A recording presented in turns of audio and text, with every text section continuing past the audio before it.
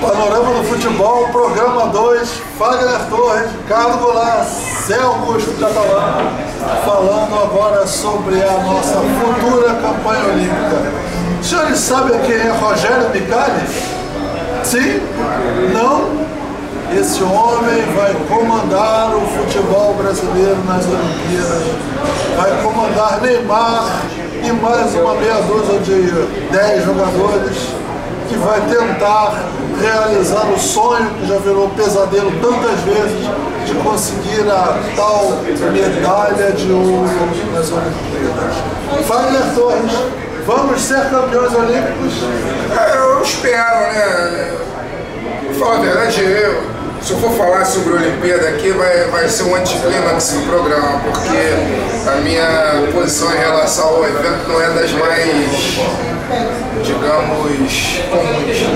Mas, mas, é, mas eu espero que o Brasil, enfim, ganhe essa medalha de ouro, que pelo menos encerre essa, essa palhaçada de nunca ter ganhado essa coisa.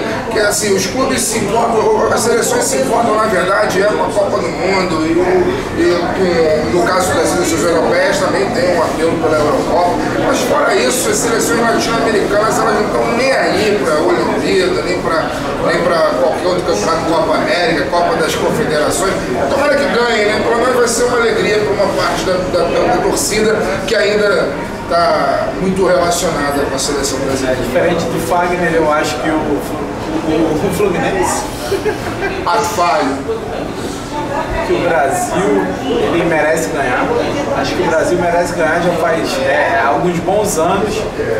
Acho que é, a gente tem que lutar por essa taça, porque independente do, do cenário atual, a gente está tá vinculando muito as questões externas ao futebol. Acho que o Brasil tem que lutar para ganhar, tem que ir com os melhores jogadores. É, a dispensa do, na verdade, o veto, né? Não a dispensa. É, do Douglas do Bayern é, é negativa, porque é um excelente jogador. Torço para que o Brasil ganhe. É, mais uma taça na, na nossa sala, né? E, é isso, Catalano. Eu penso que o Brasil tem que ganhar, tem que ganhar independente do, dos fatores externos que, que impactam e que a gente tam, também não se refuta de, de, de, negar, né? A gente tem, tem, tem grandes problemas no Brasil, inclusive na, na execução da Olimpíada, mas o, o Brasil, futebolisticamente falando, a gente merece ganhar. Eu não levo fé eu acho que vamos perder de novo. E assim, digo mais. Tecnicamente, você diz? Se ganharmos, ficará comprovado que das duas uma. O senhor Rogério Micali, grande técnico, grande conhecedor de futebol, que não tem seu reconhecimento até hoje, ou o técnico é apenas um, um ajuntador de talentos que vai falar, vamos lá pessoal, e o acho que você, vai levar o, o, Catalano, com todo respeito, eu acho que você está desprezando os adversários. Então, exatamente. Mas então, se vamos... Existe a Argentina talvez nem venha, né? Tá com um problema lá na federação, que parece que não vai conseguir reunir os 18 convocados. Se vier, deve vir com jogadores do que é o determinado, é 18 convocados, né? Talvez teve uma crise, o Tata Martino se demitiu da AFA, inclusive por causa disso. É, vamos ver. Eu tenho uma história legal de Olimpíada com o futebol brasileiro. O, um dos meus primeiros ídolos na, na infância foi o Tafarel. E o primeiro jogo que eu vi do Tafarel jogar foi justamente o jogo de Olimpíada.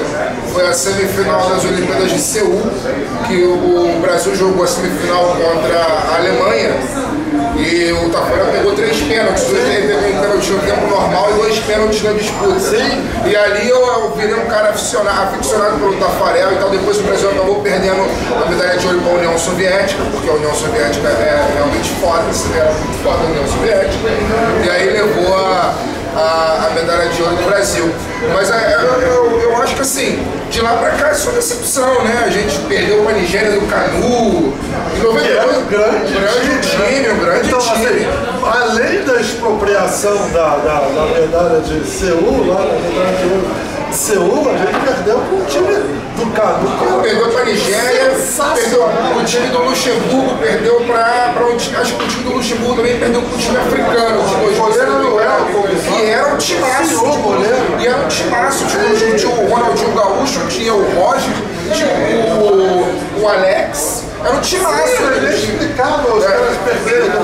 O Romário fez 1x0 nesse jogo, nesse jogo que você estava falando. Gol de corner. Sim. Ficou tomando essa Sim, virada. sim. Perdemos para duas A última agora, a última agora em Londres nós perdemos para o México, né? Que também nós éramos favoritos Também, e perdemos para o grande México. A gente era melhor e perdeu para o México. Vamos ver se o Brasil agora em 2014, já que joga em casa, com a mística do Maracanã, vamos ver se não, não rola outro maracanazo e a gente ganha a medalha de ouro que tanto se deseja. Então você acredita? acreditar, né? Porque se a gente não acreditar, quem é que vai acreditar?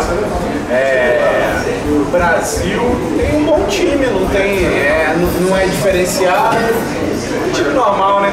Eu acho que, que assim como o México ganhou lá no, no seu tempo ontem, acho que o Brasil também pode ganhar em casa com um time limitado, a gente reconhece que é um time limitado. Acho que falta, falta, falta garra, falta sangue pro Brasil ganhar. Afinal, no Maracanã? É, Maracanã. Ai, ai, ai. Maracanã.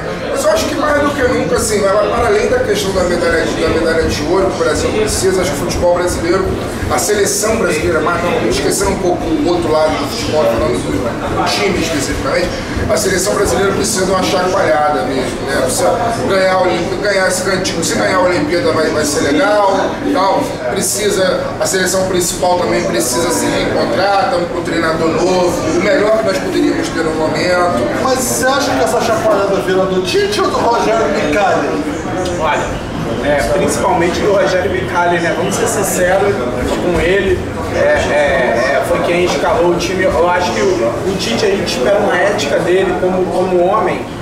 E, e acredito que ele não, não, não tenha impactado nessa convocação, pelo menos acreditamos, e que o Rogério fez o time dele. Se o Rogério ganhar, mérito dele, ele que está à beira do campo, é, escolheu bons jogadores, né? é, é, particularmente eu acho que faltou uma ou outra peça, mas efetivamente é um time competitivo, então acho que a- a- o mérito, se ganhar, é do, do Micali.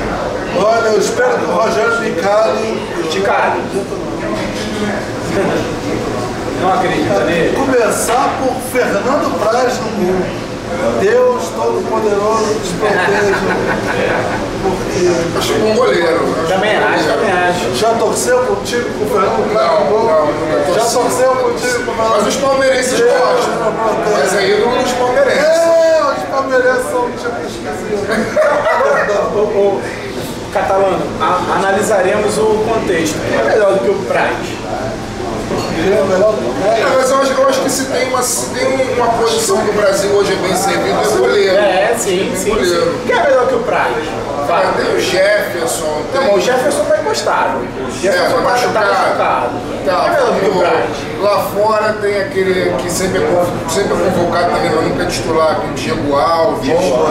Tem o, o- Aqui no Brasil, deixa eu ver. É, Muralha, né? Que se cortasse aquele cabeça, era a eu, acho que, que, que o Praz ele tem uma função que extrapola a função técnica. Eu gosto do Marcelo Ele é Groi do Grêmio. Sim, sim, Groi. mas talvez não seja um, um líder.